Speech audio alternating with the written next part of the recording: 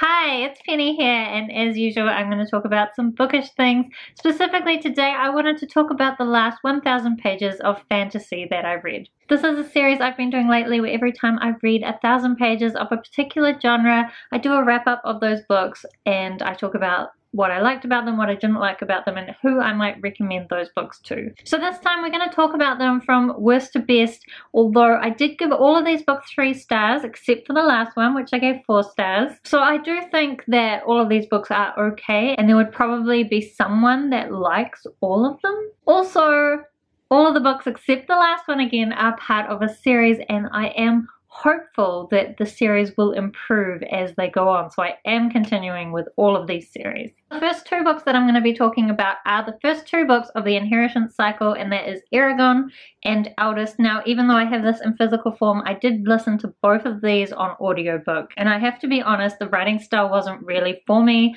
and so I really needed those audiobooks in order to get through these. But there were some aspects that I enjoyed so I am glad that I read both of them. As I said I will be continuing on with the series because I know that Christopher Paolini was very young when he started writing this series and so I'm hoping that as things go on he will just get better and better. I don't know that the second book proved that theory but that's what I'm hoping. So this series follows a boy named Eragon. He finds this rock or he thinks it's a rock. It turns out to be a dragon egg and he becomes one of the first dragon riders in a really long time. In the first book he's learning about what that means and trying to find somewhere where he can be safe.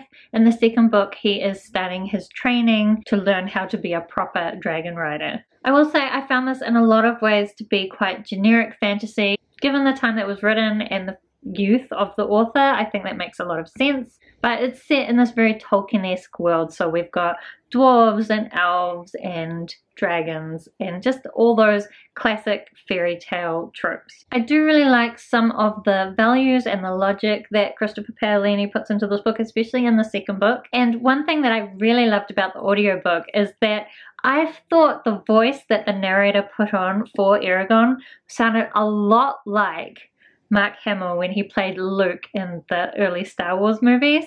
And they're such similar characters in a way that that seemed perfect. So they're both being raised by their uncles and then something bad happens and their uncle dies and they're constantly complaining about no it's not fair and they're kind of still going through that same journey like realizing that they're the chosen one and training to gain their abilities. The two stories are very similar and so I found that particular voice really well done and really appropriate. In the second book, Eldest, I did think that the structure of the story and the plot was a little bit less clear. There is quite a big like plot twisty type thing at the end, which was probably lacking from the first book, but it didn't really seem to have much direction for a lot of the book, whereas the first one I felt was quite a clear quest that we were following. So I think that I would recommend this book to people who really love dragons, um, potentially people who are quite new to fantasy, or people who really like Tolkien type fantasy. Now, I personally don't really like Lord of the Rings. My favorite Tolkien story is Roverandom, which is a bit of a random one. I didn't really like Tolkien because I don't like his writing style, but I don't like this writing style either, but the world, the elements of the world are very similar, so perhaps if you like Tolkien, you might like this series too.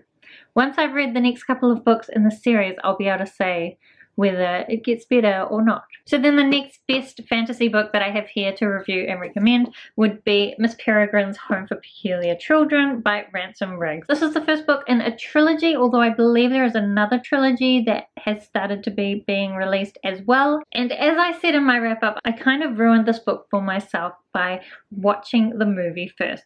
I have to say, I think the movie was incredibly well done. I really enjoyed it. So then this was a bit of a letdown. Partly because the movie already set me up for what was going to happen. So in this book, I never really felt like there were any surprises and I don't know whether if I'd been reading it without having watched the movie I would have had that same experience or whether I would have found some of this stuff really interesting and unique. So this story is about Miss Peregrine's Home for Peculiar Children. This is a home where there are these children and it's all based on these weird photos So Ransom Riggs has collected all these strange photos and also looked at other people's collections and then kind of built the story around these photos.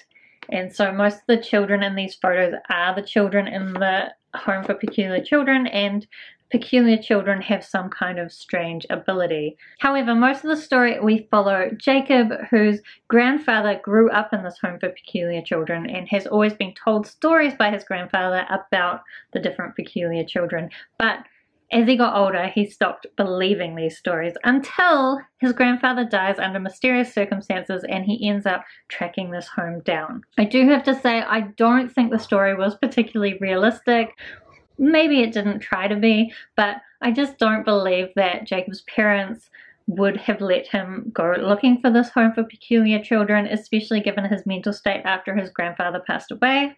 I also thought he was quite a whiny brat given how privileged he was. Then the romance in the story is all based around Jacob and his grandfather's ex-girlfriend who is still the same age because there is some small time travel aspect in this story. So Jacob has this thing with his grandfather's ex-girlfriend and I just found that kind of icky. Like, I don't really believe that if I somehow ended up in the future and my boyfriend's grandson was there that I would want to date him. Oh, that's so gross. Honestly, like, even if he was the same age as me, it would still feel like pedophilia. So I found that part kind of icky. I do also think that just the plot and the pacing was done so much better in the movie, which is why this book let me down. However, that said, if you don't mind the idea of dating your boyfriend's grandson, and also you like the idea of these peculiar children with all these different weird abilities, and you kind of like creepy old photos, and you don't mind that the writing style is quite basic, I feel like I'm not selling this one. An interesting world. I think maybe before I finally recommend this one, I need to read more of the series to really get a feel as to whether it improves. But I did like some of the powers the kids had and it was kind of fun, so it wasn't bad. I think it just wasn't what it was hyped to be. That hype always messing with your perceptions. Urgh. Okay, next we're going to talk about Rebel of the Sands by Alwyn Hamilton.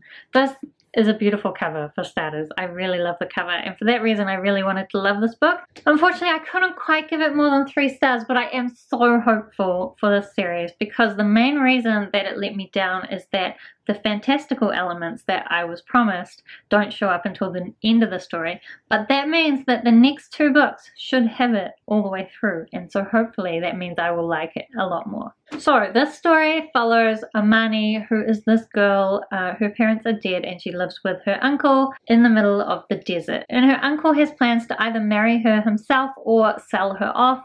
She's not really keen about being stuck in this middle of the desert town at all. So she decides to use her shooting skills to go out and earn herself some money in this shooting competition. While she's doing that, she meets this guy named Jin and eventually they end up escaping together and going on a bit of an adventure. The story does have fantastical elements in that there are particular people who have different magical powers because one of their parents was a jinn. And once we met some of these characters and they started doing cool magical stuff, I really enjoyed it. But I did feel that it was just a bit slow. I also thought the romance was quite predictable and we do meet this kind of group of people near the end and then some drama goes down and I thought we just hadn't really gotten attached enough to that group before the drama happens to get the emotional impact that the drama was trying to achieve.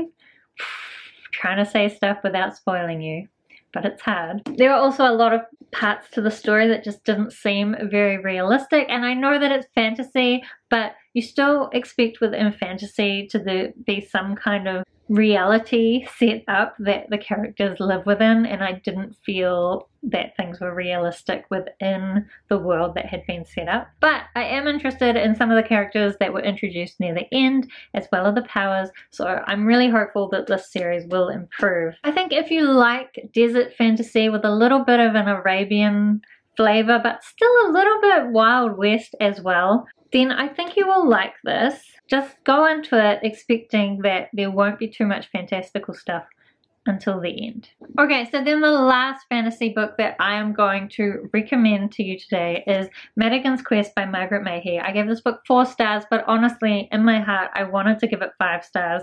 I just, when I looked at some of my other five stars, doesn't quite compare, but I did really love this. And I will admit part of that is probably because Margaret Mahy is a New Zealand author. I come from New Zealand and this is a dystopian future that's quite obviously set in a dystopian New Zealand because there are Maori elements and also just a few like landscape and bits and pieces that make it seem like it's set in New Zealand. However, there's been this big event in the past called the Destruction that has destroyed everything and now the roads tend to change and very hard to get from town to town. All the towns are quite small and they don't have much technology anymore, but there are still remnants of our current world hanging around. So in the story we primarily follow this girl named Garland who is part of the Fantasia, Maddigan's Fantasia. So she is a Maddigan and the Maddigans run this like circus troupe that travel around. Unfortunately right at the beginning they get attacked by this motorcycle gang and even though a couple of other characters have traveled back in time from the future in order to stop this incident, Garland's father does end up dying. And so throughout this book, uh, she's working with these two boys and this baby that have come back in time uh, to try and stop future things from going wrong.